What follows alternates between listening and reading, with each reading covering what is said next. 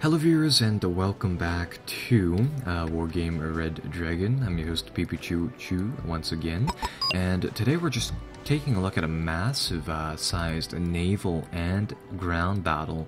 Um, this is a 4v4 map too, it's not even one of the 10v10s and it's a it's a match that will go on for 40,000 uh, points. It's a destruction game mode so you had to blow up 40,000 um, points worth of units and namely it's played uh, with this huge ground um, or rather map just in general where um, each and every side sort of starts off with their own little continent. You had to blitz the uh, the naval spawn zones, and it's just an absolute uh, massive battle just in general here. So, with that sort of said, I mean, the game begins um, with only ground forces. I'm moving up my troops here, and I'm playing with my uh, China Rising deck.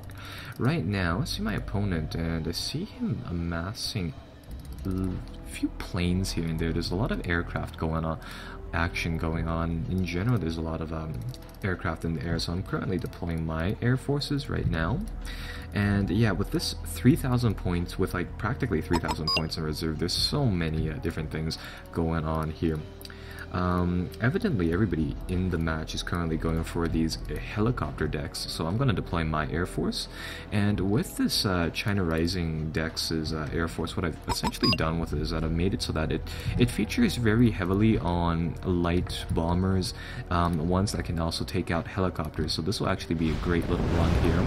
I see that he's deploying some Fallschirmjäger troops over here, so I'll get my planes to drop a few bombs to try to take that place out, um, but also just try to brawl with the guy guys over here just in general. So, ooh, we scored a good kill on one 1,000 point unit. So yeah, that was nice. And yeah, the battle pretty much develops. So, um, in the meantime, our teammates um, should be capping a lot of locations. This map is actually really rather focused on the central uh, zone here of Elena and Fedor. I was originally planning to um, use my, like the Chinese uh, long-range ATGM launchers to sort of hold down the bridges here in Fedor through this little um, complex right here. But I think seeing as how we were making these heavy plays, I'm actually going to move my troops forward and I'll try to actually capture um, the zones inside Elena. So we'll try to do some some plays inside that area. Um, I have a few naval units to show you guys. Uh, so far, um, just a little bit of a disclaimer, the naval uh, gameplay, it unfortunately, it is really favoring Pact at the moment, just due to the fact that uh, on the seas, what we're seeing is that a, a lot of it is uh, based upon the use of those ATM, or they're not necessarily ATGM launchers, they're, they're ship-to-ship -ship missiles, and the general premise of them is that you either use some of these ones, like the Komars, that essentially have these like little bomb missiles that have low accuracy but they cause an uh, enormous amount of damage to ships. Or you use really really long range missiles. My guys are taking some damage evidently. It looks like they're running into some trouble. Um, because there are some troops over here and we'll get rid of them in just a second. But you either use these long range missiles or either you use uh, torpedo like short range missiles. And you see here that my uh, my ally has some of these BMDs right here. And these are actually able to uh, go amphibious which are kind of cool and yeah, pretty much the game develops just sort of through through um, this sort of dual premise where you have a naval battle going on and you have a land battle going on at the same time. But the naval battle, yeah, it devolves into this missile fight, which I'm not particularly a fan of. Um, but apart from that, uh, one of the problems is that currently with the naval stuff, if you say if you don't have any any any um, ships left, you actually won't be able to, well, do very much, um, seeing as how you only uh, only select troops are actually able to fight on the seas, um, or rather versus uh, boats just sort of in general. So that is uh, one little problem that they sort of have with that um, system. Right now I need some more infantry, so I'm gonna buy, call some of those in, and I see those TOW launchers over there, which I want to get rid of. In this deck, I have some of these cheap, uh, cheapo little SU-100s. They, they're not necessarily great tanks, but they're really rather cheap. Um, they're only 15 points apiece, meaning that um, if they really take out anything, they, uh, they pretty much pay for themselves at that point. It's gonna drop some bombs on me. Oh, it's actually gonna be napalm, so it's not going to be that terribly bad. Hmm. What matters is that I want to get rid of those uh, TOW launchers because I have a few of these ZDF uh, vehicles and I just essentially bought everything inside these um, big big uh, four-pack stacks because the game started off with so many uh, resource points. But anyhow, these ZDFs are the um, are the Chinese little ATGM launchers that have practically a, a three-kilometer range, making them really rather handy. And I think I'll just bring those guys up to um, hopefully put down some fire upon the enemy.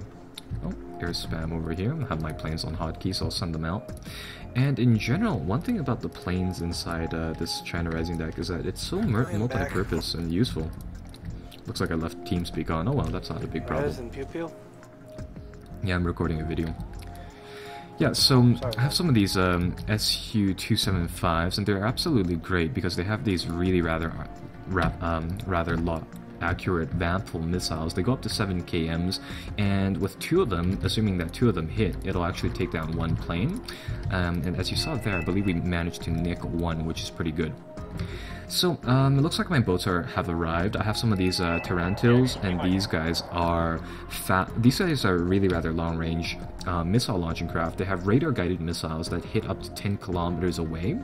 Um, they have decent CWS, meaning that they can shoot down enemy missiles with their Strela 2s, uh, making them very, very useful harasser units. And I'll just sort of um, give them an attack order to uh, hopefully bring down a few boats. And um, the boat combat currently is mainly focused upon these missiles. So missile streams come in, they either hit, looks like we got that boat, so that is good. Um, usually though, when the enemy has uh, massive swarms of boats, the uh, the missiles won't actually hit because there's just too much um, stuff flat, uh, some, too much stuff just sort of being thrown about. I'm gonna bring up some um, some supply vessels because these things run out of missiles really rather fast. Though if you have enough of these um, these boats, they'll actually be able to overwhelm missile systems like that, and it'll give you oh three kills right there, 600 points worth of stuff. So um, really rather deadly on the seas. Um, for this battle, I was under the impression that I would have been using a lot more, uh, say, naval stuff, so I didn't buy too many land units, which is a decision that I regret. Um, and ZDF here picked off one unit, which is rather good, and unfortunately I just can't manage both sides at once. Um, one of the other units that I wanted to show you guys are these Shmels, and these Shmels are 50 point, um, little, they're, they're supposed to be river boats too, which is rather interesting. The, uh, the unique thing about them is that they can actually fire off a barrage of the, of these little um, MRLS barrages from the sea, making them rather handy, uh, just in that premise. And it looks like they managed to get one of my Tarantuls, which aren't as costing as their ships are, oddly enough. So that is good enough. I'm gonna pull my ships back. Evidently, we run out. We have run out of missiles, and um, looks like we're actually doing a good job keeping their missiles off of us, though. I'm gonna move my Shmels up forwards because uh, as soon as we can locate some targets with uh, some of our infantry or whatnot here, we should actually be able to just sort of uh, unleash this devastating MRLS barrage from the seas. Um, so far they don't have too many of these river boats inside the game. I'm trying to figure out where my units are taking damage right now. But the um, the Pact player seems to have some of these great long-range artillery boats, uh, whereas the NATO player seems to have some of these great um, great little boats that do a terrific amount of damage um, that have uh, Hellfire ATGM missiles on them. So they're so it's sort of a nice um, comparison here and there. Now, Hmm. Yeah, they're trying to bring in some of their uh, ship-to-ship -ship missile planes to try to do some damage to us. I'm actually going to deploy my planes to try to um, try to harass him. He's going to pull them back, so we'll pull back our planes. And perfect. Looks like our infantry have found some targets. Found some Canadian airborne here and some uh, Fusiliers. So that should actually be a good target for my Shmels to uh, just sort of unleash hell onto this area and they have a decently long range. They're not that accurate, unfortunately, but what we want to do here is that we just want to throw down a large barrage and see really what we can do uh, with them. So they'll fire in a second here. There we go. Yeah, these things are incredibly useful because for, for some of these um, amphibious maps where it's land and sea, they have great controllability uh, from the seas, especially because um, on select maps, they have uh, they have one map which is just effectively filled with canals, and these shmels are just really rather useful in that they can get into those canals and really just range anywhere around the map with their uh, barrages like such. So that's going to lay down a lot of suppression, enough that uh, we can get our troops into these buildings, and I'll get my SU to um, cover this little push right here.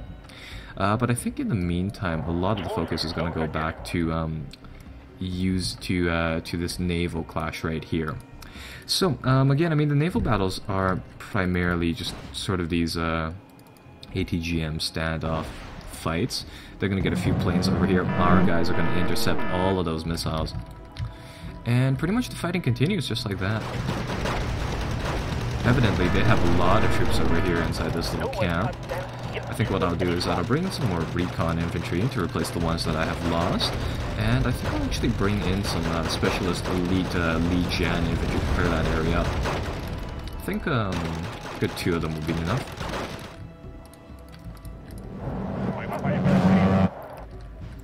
Right, so um, our supply boats are here, so I'll resupply our guys, and I suppose we'll resupply his boats too. Um, these boats, they they seem to require an absolute ton of supplies. These uh, these little Muna vessels, they um, they actually carry about 1.5 FOB's worth of uh, of supplies, or uh, more so just one. My mistake. Yeah, they, they carry a lot of supplies, and I'm actually rather interested in seeing how how your naval boats can supply land uh, units as well. Um, so far, what I'm noticing is that I mean nobody, people don't seem to use these boats as uh, ground supply vehicles, just due to the fact that the boat combat is pretty uh, resource intensive. But I mean, what happens if you run out of supplies for your boats is one thing that I'm wondering um, about. They're actually bringing their boats in to, uh, to do a little attack run, so that's rather interesting.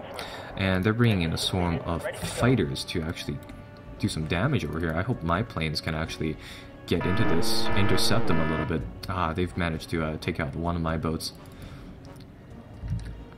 Or no, one of my boats and my supply vessel. Hopefully I can nab this intruder plane.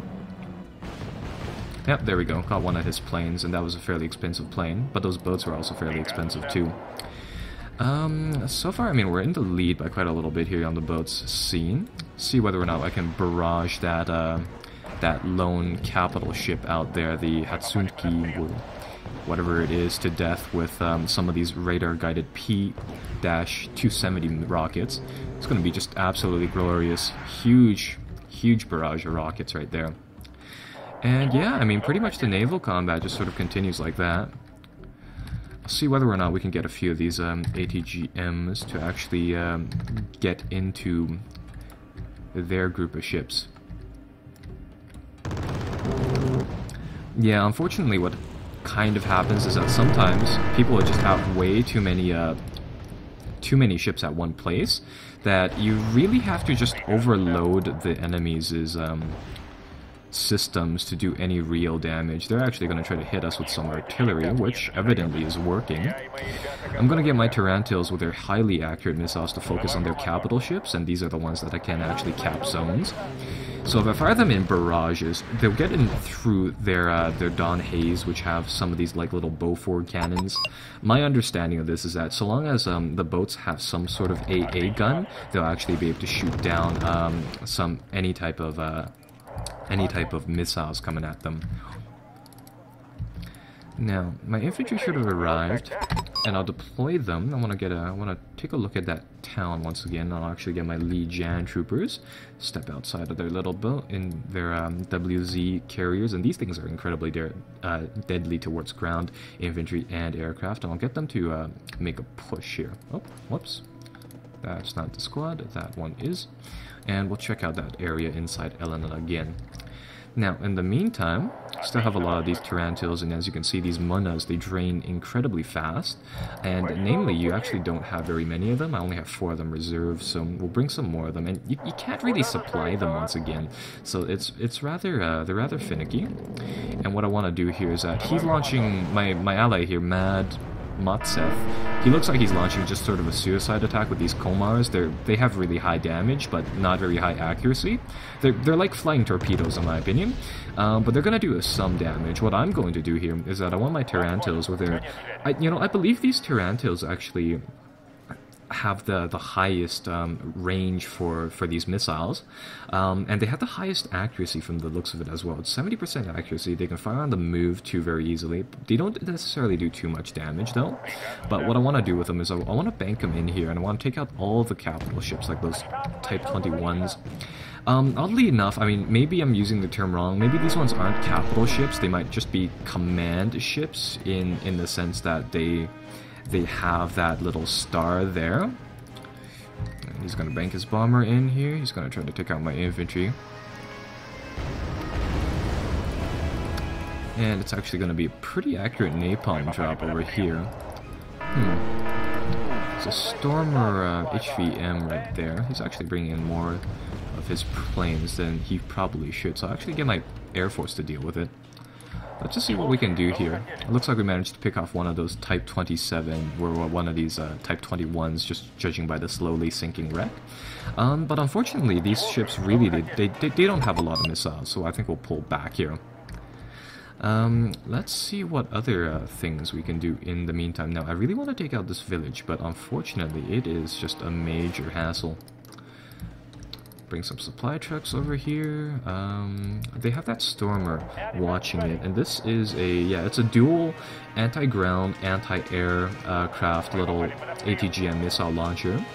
The unique thing about it is that it, it, actually has pretty high ranges for both helicopters and um, ground vehicles, so we'll probably need a, a, ground ATGM team to take it out. I actually don't have any of those ground ATGM teams, but um, I'll bring in some more troops to sort of uh, facilitate this attack, I suppose. And my aircraft, I'll just call, I'll just send them back.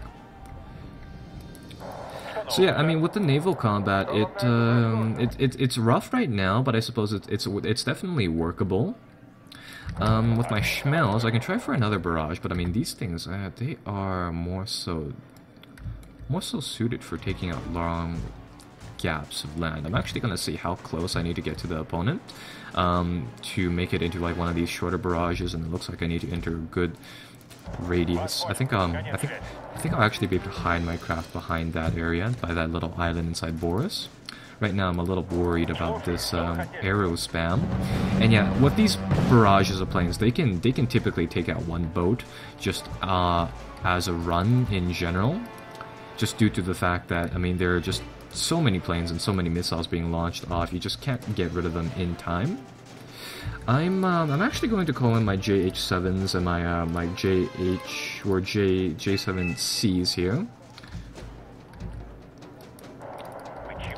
And I, am going to use them for um, anti-air purposes. They have decently accurate and decently ranged um, weapons to take out these Cobras. The nice thing about these planes is that while they carry bombs, and I primarily use them for bombs, they have um, a decently strong 20 milli 23 millimeter cannon on the front. And I mean, of course, you can use them for these um, anti-helicopter roles. And the thing is that, I mean, the helicopters, they're not necessarily more expensive than these planes, because these planes are roughly uh, 70 points each, 70, 80 points each. Hopefully they can bail out, but if they die, I'm actually not too worried about it, because if we if we actually are able to get into this blob of um, of sea vessels, it's actually more expensive than pr practically anything else. Alright, it looks like, uh, well, that match was a fairly short one, so I mean, that's fairly good. Um, it looks like, yeah, the enemy team pretty much just left. And, well, we ended off with uh, 3.5 thousand point, or 3.5 thousand, yeah, points, and we lost about 1,100, so I mean, that's pretty good. So, I'll, um, I'll see you guys later on. I suppose we'll play some more, check out the naval battle some more, and uh, really just go from there.